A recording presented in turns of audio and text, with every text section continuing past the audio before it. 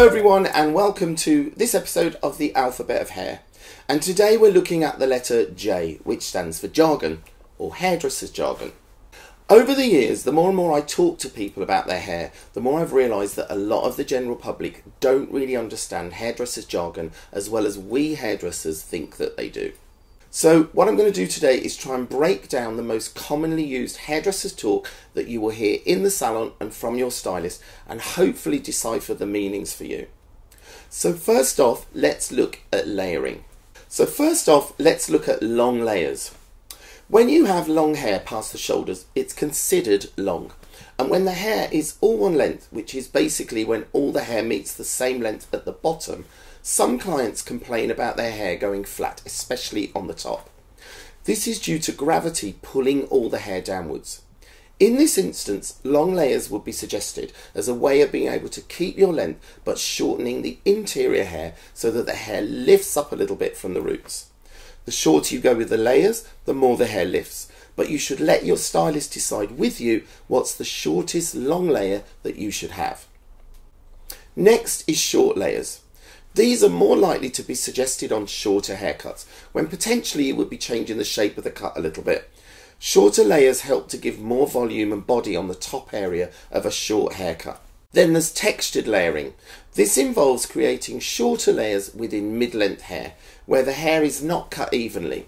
It doesn't involve cutting shorter layers on top, but it gives you shorter pieces within your current length to create looseness, texture, and reduce heavy weight, especially on a one length bob all the way down to the lob length. This technique has become very popular over the last five years, and this kind of layering can be done with either scissors or a razor. By the way, less layering is generally suggested when the hair is a lot finer, as this can make the hair look more sort of see-through. There's a lot more variations of layering in terms of hair cutting terms, but these are the main basic ones. But again, let your stylist decide what would be best for you. Another popular form of layering is what's known as graduation. Again, there are many variants of graduation, but the ones you're most likely to hear about are the following ones. So the first one is forward graduation, and this is a combination of the one length haircut at the back and the sides with face framing or C forming on a C on it turned on its side, graduation at the front, which is the progression of lengths from shorter down to longer.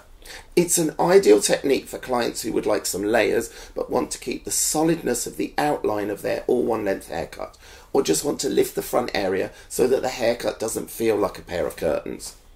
It's often performed on longer hair to give the illusion of layering without losing much if any length from the back and involves pulling all the hair forward in step by step sections. This technique can be done on either curly or straight hair for varying shapes and styles. Next is the mid-length graduation. This technique is normally cut on sort of jaw length or longer bobs, what is more commonly called the lob these days. It's a great technique to accentuate on an A-line bob haircut. Then there's triangular graduation. This is normally the cutting technique to create a graduated bob haircut, where the layering technique generally goes higher up the back of the neck. This is technically known as triangular graduation and can be performed on varying lengths. So that's graduation. Now let's look at short haircuts. First I want to take a look at the pixie crops. You'll often hear hairdressers talking about the pixie crop. A pixie crop is a short hairstyle that's generally shorter on the back and the sides of the head and slightly longer on the top with a very short fringe or bangs for our American viewers.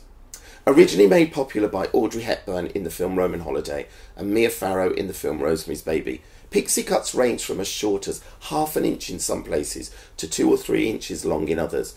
Any longer and it becomes another shape and another name. Now while we're on pixie cuts I just want to have a quick look at bed hair because this is easy to achieve on those short haircuts, especially on the pixie cuts. It's about creating those imperfections in the texture with product. Most stylists would use a matte wax or a paste to create this kind of texture.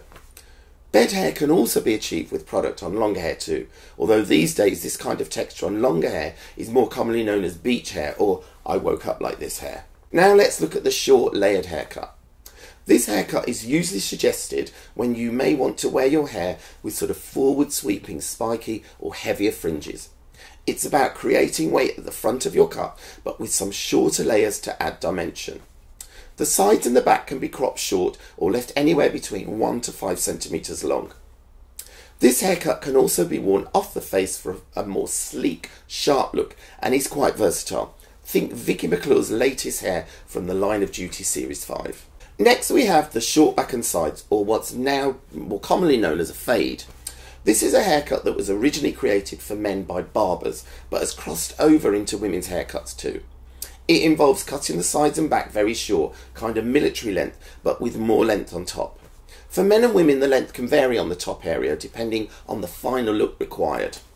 This type of cutting technique is also known as tapering, which is where the length starts off very short in the neck and gradually gets longer as it goes up the back of the head.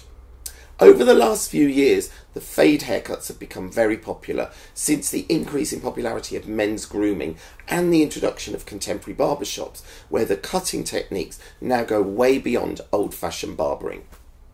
There's bald or skin fades, there's temp, there's burst, there's drop, there's flat top, high top variations, as well as high fades, low fades, mid fades, the pompadour fade, fade with a part, taper fade, box fade, low razor fade with hard part comb over.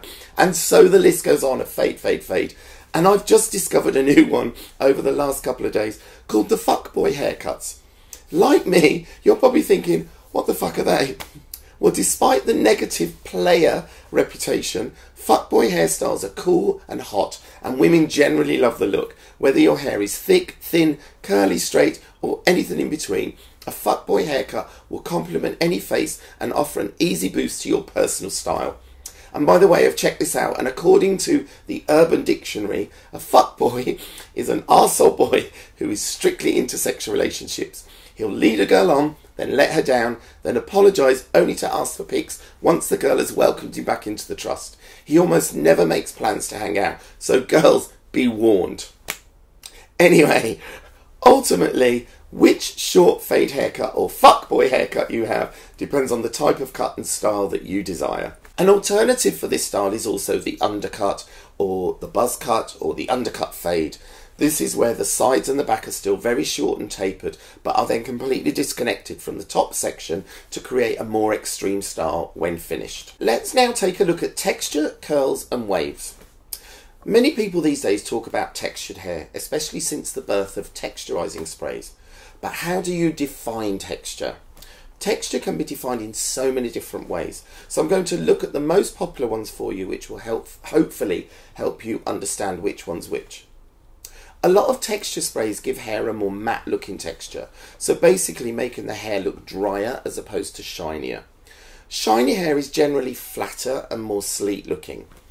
Beach waves and texture are the most popular forms of texture right now, and this is where the texture in the hair looks like it has dried with sea salt in it, thus giving it a more matte, dry look. A lot of texture sprays contain sea salt, and you can get a lot of sea salt styling sprays too. That's a bit of a mouthful. A salty sea texture can also be achieved on straighter hair too, which just makes your straight hair look a bit more sort of dishevelled. Another texture is curls. Now curls are where the hair rolls around into a tight S shape, like that. I've had people describe curls to me as round hair before, so this is why I'm trying to be a bit more descriptive. When curls are dried, they tend to sit outwards from the head and not flat. It can take a lot of length on curly hair before the hair starts to sit flatter.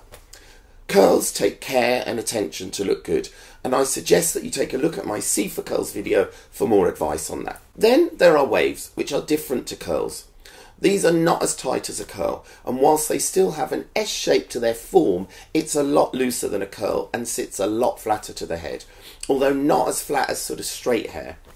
Like curls, waves can come in varying degrees, but it's important to understand the difference so that you can differentiate what your own hair can and, and can't do in terms of styling. And so that's it for my J for jargon, but I just want to say one thing before I say goodbye to you all.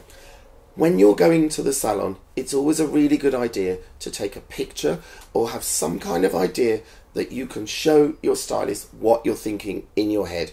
This will really help to break down those barriers between you and your hairstylist in terms of what it is you're actually trying to achieve. Doesn't matter if the picture actually isn't even right for your hair. Your hairstylist will be able to tell you whether that picture is right or wrong, or whether it's possible to achieve that look on your hair but having something, even if it's for colour, it's a really good idea to take something with you. And should you have any other hairdressing questions for me, then remember to DM me on any of my social media platforms. Thanks for watching. If you like this video and want to see more, then you can subscribe to my YouTube channel, which is here, and you can also follow me on Instagram, Facebook, and Twitter.